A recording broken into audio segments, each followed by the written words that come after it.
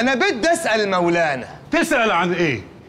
إزاي مولانا بينام بالليل مرتاح مطمن؟ إزاي تقدر تعدل؟ وإزاي تقدر تكسي عريان تلت الناس شقيانة والتلتين حفيان. إزاي تقدر تطمن إن مفيش مظلوم؟ والله والله والله. لو كنت بجد أنا هو أنا كنت جاوبت. لكن تقدر تسأل نفسك لو كنت مكان مولانا.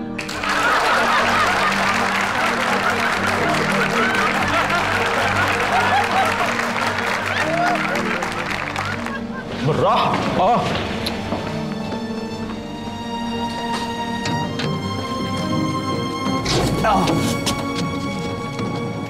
عجبك كده يا سي علي؟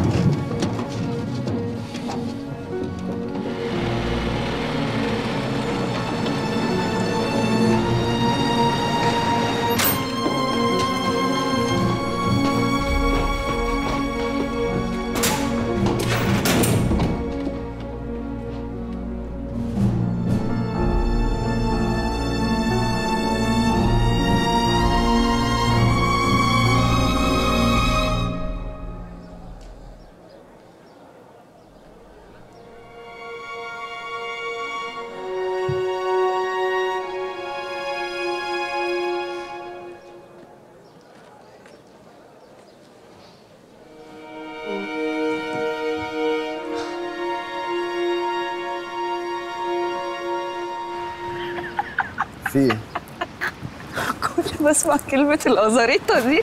بموت إيه الأزاريطة دي؟ آه. الأزاريطة دي يا ست حي من أرقى أحياء اسكندرية. بناه محمد علي باشا. ولما انتشرت الكوليرا أصدر أمر إنه يعمل مكان للحجر الصحي زي أوروبا. وكلمة لازاريت دي أصلا كلمه استني. استني بقى.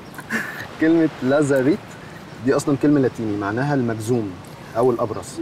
فبقى المكان اللي بيحجزوا فيه كل المجزومين اسمه لازاريت. أزاريطة قاعدة مع جوجل يا اخواتي ده أنا حبيت الأزاريطة والقبيري وكان بجزار عشانك يا أخي.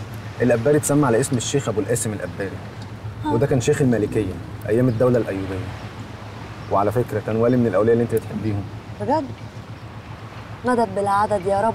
أما بقى كامب شيزار فدي معناها معسكر القيصر. كامب يعني معسكر؟ وشيزار اللي هي سيزار اللي هي القيصر. بسيطة دي. بسيطة. أيوه. أنا فخورة بيك قوي يا يوسف. أنا كده ضمنت إن العيال مش هياخدوا دروس تاريخ. والجبرتي ناوي على إيه؟ ناوي على إيه في إيه؟ في تاريخنا إحنا الشخصي. أنا وأنت. هنعيش إزاي بعد ما القصر الدولة بإذن الله تستلمه؟ هنعيش مثلا هنا في اسكندرية وأيوه كده. ومن المكتبة للبيت وتدي دروس تاريخ ويبقى عندك كرش وتجيلي ببطيخة؟ ماشي ما عنديش مانع. ولا هتبقى انتهازي وتشتغل عند حماك. وبرضه ما عنديش مانع. قول لي كده اعتبرني زي خطيبتك. مش قادر نفهمك خالص. أسلوبك ونظراتك. كل حاجة محسساني إن أنت مصدق. كلامك ونظرات عينيك بتقول إن أنت مصدق في اللي أنت بتعمله. وسلوكك. أنا مش قادر أعتبره إن هو تقيه أنت فعلا بتشرب وبتعمل كل حاجة بجد. ما تفرقش كتير يا جيمي. في الحرب كل شيء مباح. وإحنا في حرب. حرب. ماشي. تعال نفترض إنها حرب. لو في أي حد دلوقتي معدي وشافنا وإحنا في الحالة دي. وقرر إن هو يقتلنا. وهيبقى برضه معاه حق. عشان الحرب الغامضة حرب مش شريفة. عشان ممكن ناس تقتل ناس كتير قوي بالباطل. ممكن جدا. علشان كده بنعيش اللحظة بلحظتها. ومعانا رخصة وفتوى. يعني أنا مثلا دلوقتي في لحظة السكر. وبعد شوية هبقى جاهز للموت. ولو عشت حبة كمان هبقى جاهز لمهمة تانية. الإنسان مخلوق جاهز لأداء المهمات المقدسة. أيوه بس في ناس تانية ما تدخلش نفسك في متاهات وتخلي الشيطان يلبس عليك الحاجات. إحنا بنتدارى عشان نعرف نعيش لأن مفيش تمكين. بس أول ما يحصل التمكين ونعيش الحياة اللي إحنا عايزينها الحكاية مش تبقى كده خالص. يعني أنا مثلا عامل نفسي زنديق وكمان شوية هعمل نفسي صايع. ليه؟ علشان مش قادر أعيش زي ما أنا عايز. بس لما يحصل التمكين ونعيش زي ما ربنا حكم الدنيا هتختلف.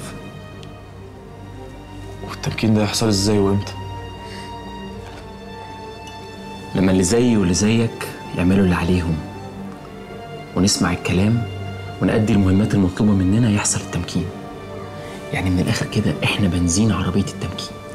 أنا عارفة اللي نفسي فيه صعب يتحقق بالظبط لكن أنا طلبت من ربنا واللي يطلب من ربنا لازم يكون طماع. وأنا طلبت من ربنا إنه يهديني للنص اللي يخليني كاملة يا يوسف يكون أخ وأب وزوج وعاشق كل حاجة كل حاجة. يا رب نقدر. هتقدر. إيه الثقة دي؟ ثقة في ربنا مش في مخلوق. لا بجد. بتحبيني قوي كده؟ ما انت مش فاهم. هفهمك. اللي بيحب بيحب بكل قلب يعني ما ينفعش يكون في قلبي سنتي واحد لحاجة تانية غير حبيبي. عارف ليه؟ ليه؟ عشان الحب زي الإيمان. لو في قلبك حاجة تانية غير ربنا تبقى كفرت يا يوسف. هو ده الحب عندي. ما أنا بقول لك أنا مش قدك. أنا على قدي خالص. حبني هتكون قدي. هنحاول. هنحاول إيه؟ حبني قوي بقولك. بحبك قوي. بقول لك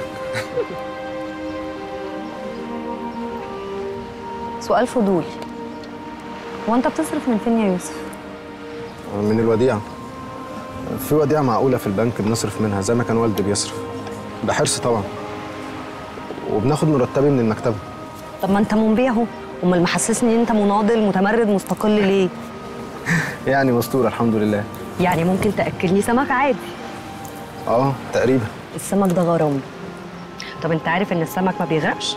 لا نعرف إنه ظريف. وعسل. كان إيه حلمك قبل ما تشوفني يا يوسف؟ ما بلاش. الناس اللي كلامهم قليل لما بيتكلموا عن نفسهم كلامهم بيبقى كتير.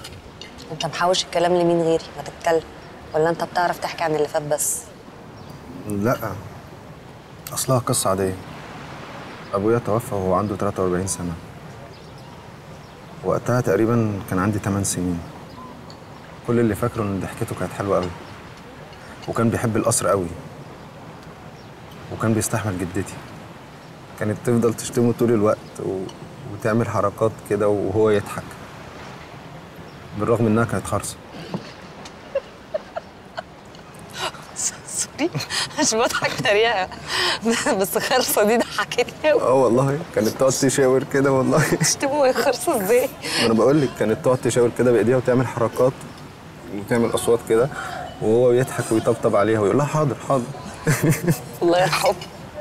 أمي بقى كانت قصة حب حلوة قوي كانت أكبر منه وكان بيعشقها. هي اتجوزت حد تاني قبله. صنايعي. ووقتها الصنايعي ده كان هو الملك. وأهلها كانوا رافضين أبويا يعني ويتريقوا عليه. كانوا مسمينه أحمد مظهر عشان فيلم الأيدي الناعمة يعني وكده. عنده قصر وعايش في شقة أوضة وصالة وخريج فلسفة. كلها حاجات مش مفهومة. يوسف أنت بتحكي حلو قوي لازم تكتب. المهم فضل يحبها. وهي بعد كده اتطلقت واتجوزت أبويا. وكان معاها أكرم. جدتي الخرصه بقى طلعت عينيها. مات وإحنا بنتفسح أنا شبطت فيه إنه يركب معايا اللعبة اللي هي بتطلع فوق وبتنزل فجاه بسرعة دي. وهو وافق علشاني. فضل ماسك في إيدي قوي. وأنا كنت فاكر إنه عادي. ولما نزلنا اكتشفت إنه مات. يا عيني. بس موتة جميلة قوي. الله يرحمه. الله يرحمه. كان جميل. عارفة حسيت وقتها إن أنا السبب. ده عمره. الحمد لله. الحاجات دي بس بتاخد وقت. المهم يا ستي فضلت مكمل في موضوع القضية بتاعه القصر عشان خاطر أبويا. أمي ماتت من سنتين بعد جدتي بشهر. ما كانوش بيطيقوا بعض. وما كانوش يقدروا يستغنوا عن بعض. أنا بحبك قوي وأنا كمان. أيوه بس في ناس بتبقى ماشية في الشارع عادي. ناس بتقضي يومها عادي مسلمين ونصارى. ناس مكبرة دماغها ناس فلاتية. ايا كان بس الفكرة إن هم ما بيأذوش حد. صحيح جدا ومعاك حق. بس مال ده ومال القضية اللي أنت عايش عشانها.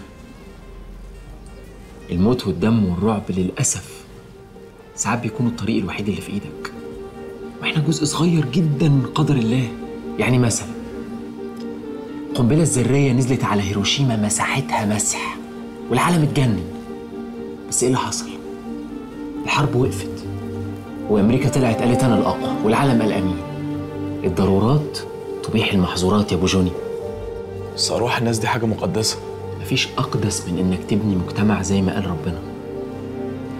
والروح اللي هتموت ظلم تخش الجنة.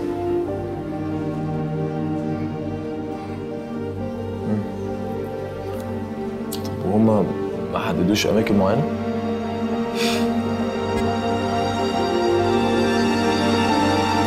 هو أنت إيه طموحك يا يوسف؟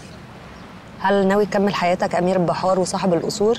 ولا نفسك تحقق ذاتك وتبقى زي الكابتن محمد صلاح عالمي وتشرفنا في الملاعب؟ آه أنت السمك بيجيب معاكي تريقه وزرافة وأنا مش هنرد. زرافة؟ طب والله لا ترد لأن عيب لما واحدة زي القمر زي تسألك إيه طموحك وما تردش. قول. ماليش طموح. عيب. بجد عيب. لأن السمكة دي عندها طموح عنك. اتليست حلمت سنين إنها تتعمل بالرد عشان يوسف بيه يتكرم عليها وياكلها. ماشي يا خف. طب قول بقى. هو حلم عبيط كده بنتكسف أحكيه؟ لا ما تتكسفش. يعني كان نفسي القصر يبقى مجمع فنون للأطفال. من سن ست سنين لحد 12 سنة.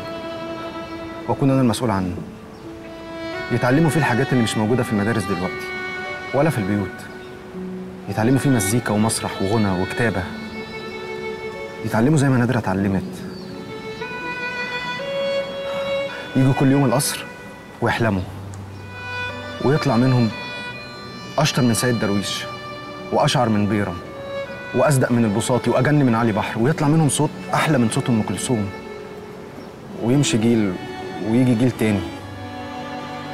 وأنا أفضل زي ما أنا. مجرد مدرس ابتدائي بيشاور لهم على الحلم.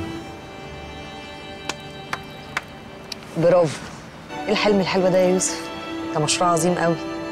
أنا معاك في الحلم ده ها؟ عاوزة تشارك مدرس ابتدائي مجنون؟ أنت عبيطة؟ ده أنا تلميذة في مدرسة الأستاذ. إيه؟ كمل بقى والنبي وأنا بصورك عشان شكلك حلو قوي وأنت بتحلم. بس. آه، وأكبر واعجز وهم كمان يكبروا ويبقوا ناجحين. منهم اللي هيفتكرني ومنهم اللي مش هيفتكرني. مش مهم. هو أنت تتنسي يا يوسف؟ ساعتها هنبقى مبسوط. وهبقى حاسس إن أنا قدرت أعمل حاجة. بحب الغنى وصوتي مش حلو. بحب الكتابة ومش بعرف أكتب قصص حلوة زي اللي بقراها. بحب المزيكا ومش بعرف ألعب ولا آلة. عارفه يا سلمى حاسس إن في حتة مني من القصر والفخامة وخديجة هانم ويوسف. وفي حتة تانية من الصعيد القديم بتاع نادرة. كم دي حكاية القصر؟ كانت خديجة هاني بعد ما استحمى كل ليلة والبس لبس نظيف وتسرح شعري وترش علي من جزازة العطر تعلمني. تعلمني كل حاجة. كيف أتكلم؟ كيف أمشي؟ كيف أسمع؟ تسمعي؟ ما كلنا هنسمعه لا السمع له أصول. محدش يقاطع حد وهو بيتكلم. ولازم لما يسمع يفهم قصده. السمع أدب يا زهيري. وشكل القصر إيه؟ وشكل الأوضة اللي كنت هتنامي فيه.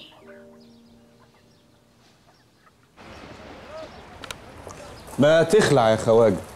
الحرب قامت وخواجات كتير خلعوا. على قولتك يا كامل أفندي. صحيح الخواجة كرياكس والخواجة خرلمبو والخواجة أرتين كلهم باعوا سافروا قاعد ليه؟ أمشي أروح فين؟ أنا قاعد هنا لحد ما الكتاب بتاعي يخلص. وإمتى الكتاب هيخلص؟ أول ما عمري يخلص على طول. ربنا يديك طولة العمر يا خواجة وتشوفه وهو بيخلص. قبل ما دول المحور تخلص عليكم. أصل دول جايين بربطة المعلم. إيطاليا وألمانيا واليابان. يا إنجليزي. هيديني طولة العمر إن شاء الله. عشان اكتب عن العالم المجنون ده. والله شوية مجانين عايزين يموتوا العالم كله. ما تغششنا كده هتكتب إيه؟ أنا زي ما أنا بكتب عن المصريين اسكندرانيين الجلابة وقت الحرب. عنكم. طيب اكتب عندك. اكتب عن جشع التجار اللي بيخزنوا البضايع ويبيعوها بالغالي. والمصانع اللي فلست. وهكتب عن مسرحية علي بحر دبرني يا وزير.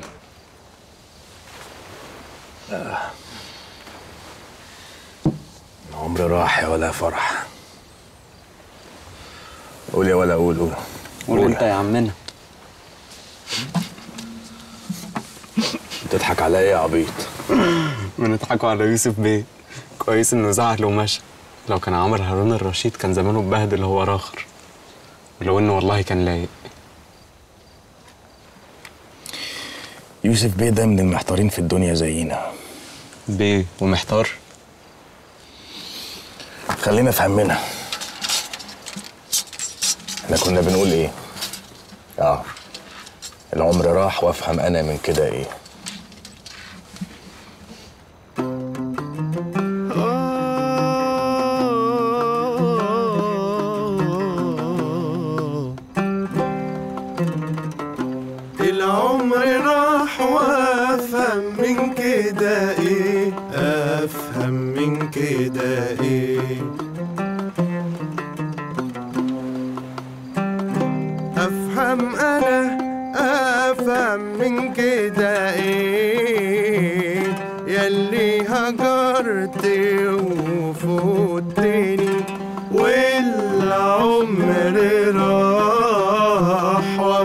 أنا افهم من كده إيه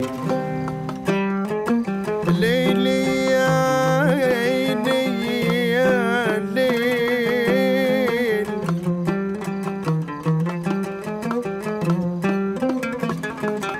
لو كان بإيدي.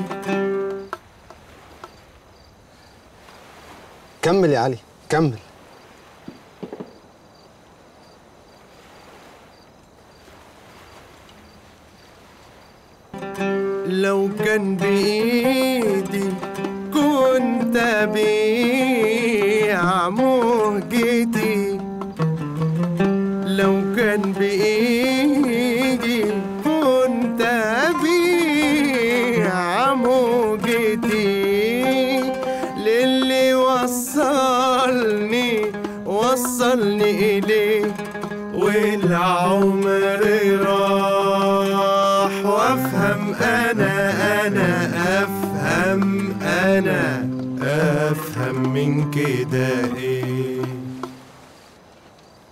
وافهم أنا من كده إيه بقى يا يوسف بيه.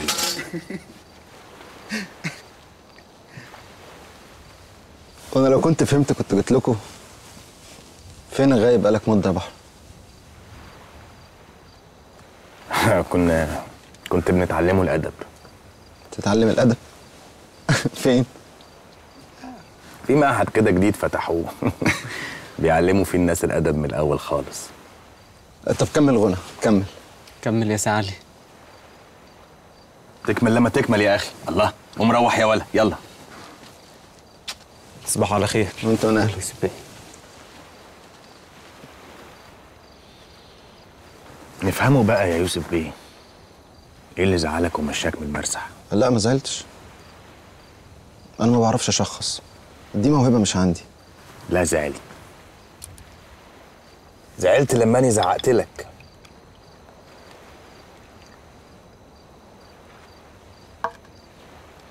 طبعا مش متعود صعلوك زي زعق لابن ناس زيك.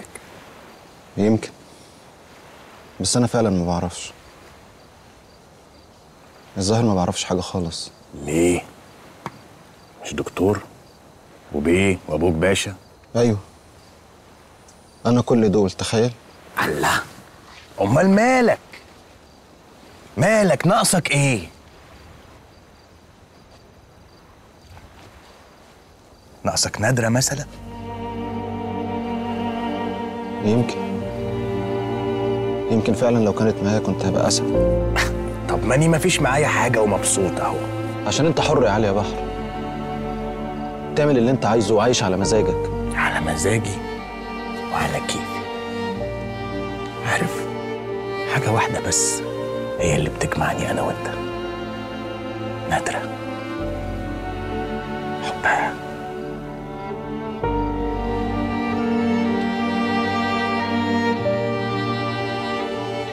وإيه هو الحب يا بحر؟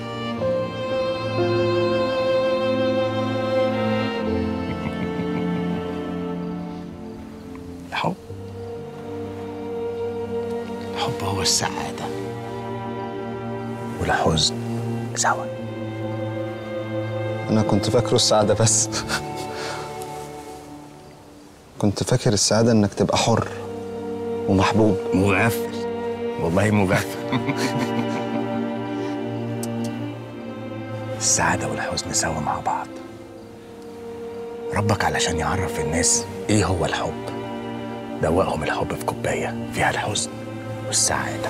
اللي ما يشربهاش كلها على بعض ما يعرفش إيه معنى الحب. أنت سكرت يا بحر. وأنت فوقتني. أنا شايف في وشك إن هي حبتك أنت ولا لا.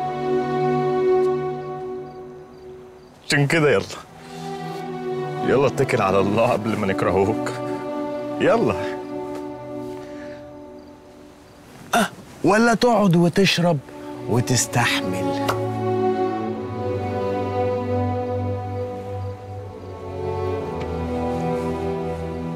هقعد. واشرب. واستحمل. خلاص. اشرب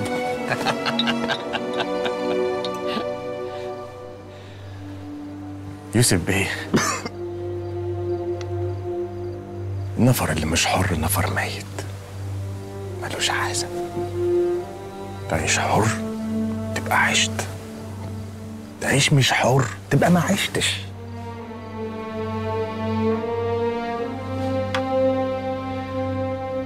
اشرب.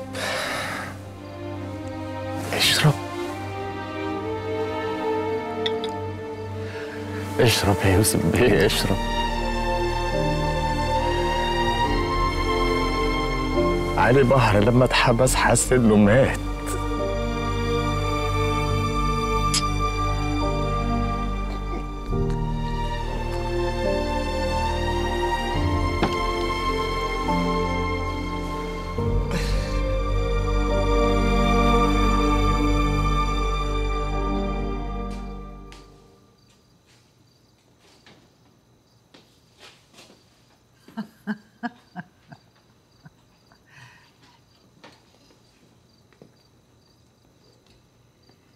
مساء الخير خديجة هاني.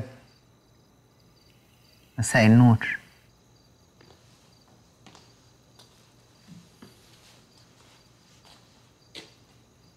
مساء الخير تفيدة هاني. مساء النور يوسف بيه. تحسوا يا هوانم كده إن البيت ما فيهوش حياة. محتاج إن الشبابيك دي تتفتح. محتاج هوا البحر يدخله. أنا لسه كنت بقول لتفيدة هانم لو محتاجين تغيروا جو تروحوا أي مكان أنت وهي روحوا. ما تتأيدوش بيا. أنت عارف إن أنا مش برتاح في أي مكان تاني في الدنيا غير هنا. لكن أنتوا أحرار. أحرار؟ الله. إيه الكلمة الجميلة دي يا خديجة هاني؟ إحنا احرار إحنا احرار يا تفيدة هانم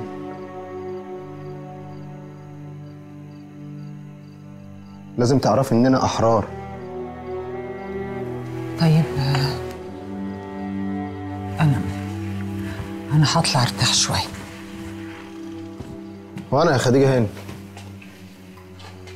ارتاح إزاي؟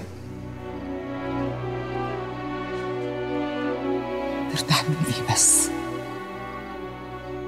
يا حياتي. ما هو الإنسان محتاج يرتاح. وعشان يرتاح لازم يبقى حر. عشان يبقى حر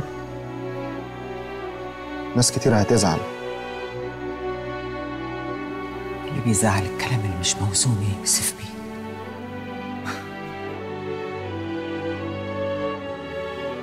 هل تعلمي يا هاني من ما بخلفش؟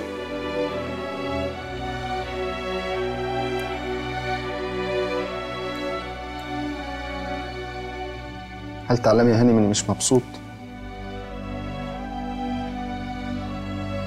هل تعلمي يا هاني إني حزين جدا؟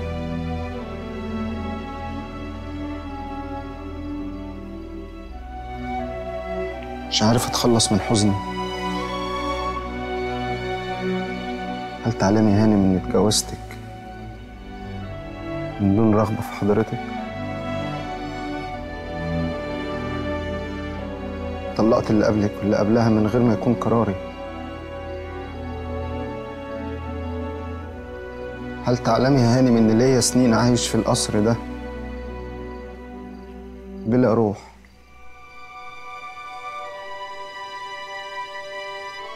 عايش بس علشان أحقق أوامر خديجة هاني.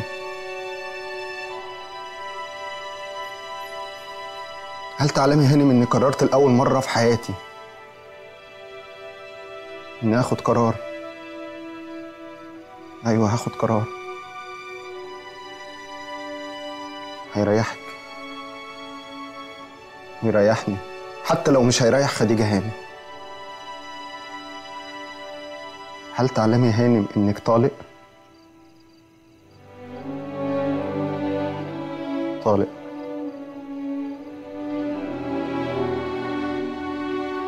أنت طالق يا هانم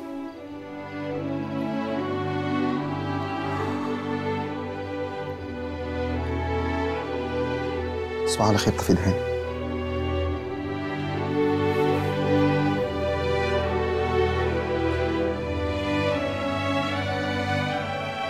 تصبح على خير خديجة هانم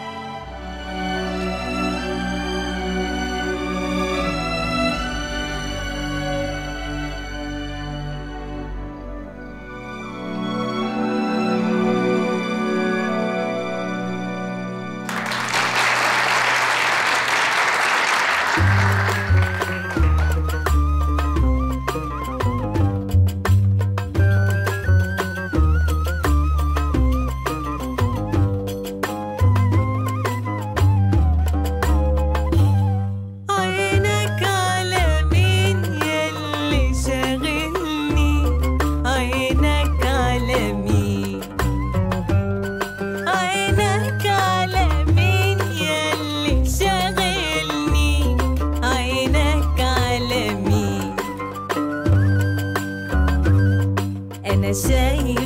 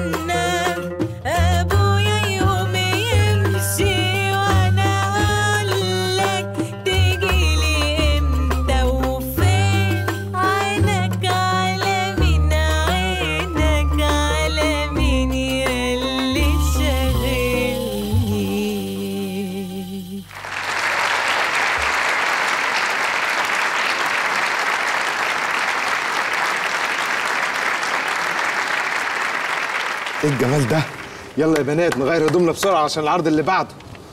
مدهشين. أعرف أن هذا الخطاب سيصلك بعد ثلاثة شهور. سألت وعلمت أن البوسطجي يمر بالنجع كل شهر. يستلم الخطابات وتصل إليك في شهر ويعود الرد بعد شهر. المهم أنا سعيدة بالكتابة. كنت نسيت الكتابة ونسيت كل شيء يا يوسف إلا وجهك. أنا لا أعرف كيف أكتب كتابة جميلة مثلك ومثل الخطابات التي في كتاب مجدولين لكنني أعرف أنني أحبك